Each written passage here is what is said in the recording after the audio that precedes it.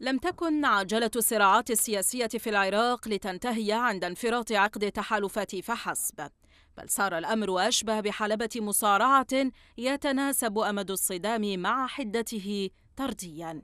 بعد فشل تحالف زعماء ميليشيا الحشد مع حيدر العبادي أقدم الأخير على قرارات أثارت حفيظة حلفاء الأمس وأظهرت جليا مدى عمق الشرخ بين الفرقاء. فأجرى العبادي جملة تعديلات شملت إعادة هيكلة الميليشيا فتساوت رواتب عناصر الميليشيا مع القوات الحكومية كما طبقت بعض الشروط المعتمدة في وزارة الدفاع على ميليشيا الحشد. وبالرغم من أن الجانب المالي طغى على ردود الفعل المتعلقة بالقرار إلا أن الجوانب الإدارية فيه كانت محط جدل واعتراض. إذ نص القرار على إشراف ضباط من حملة رتبة الأركان في الجيش على وحدات ميليشيا الحشد وهو شرط لا ينطبق على معظم القيادات الحالية. الأمر الذي أثار حفيظة قادة تلك الميليشيات فخرج الخزعلي زعيم ميليشيا العصائب بهذا الشكل.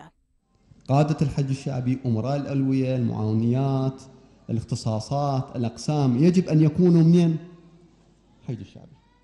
مو يجلب لهم قادة من غير تشكيلات. ليش نأكد على هذه المسألة؟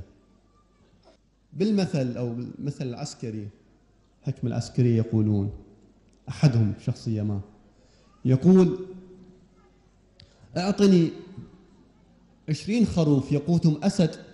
ولا تعطيني عشرين أسد يقودهم خروف.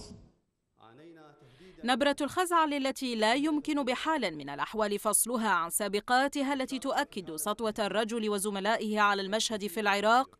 تنبئ أن صداما مؤجلا بشأن هذا الموضوع سيحال إلى ما بعد الانتخابات البرلمانية القادمة في الثاني عشر أيار القادم.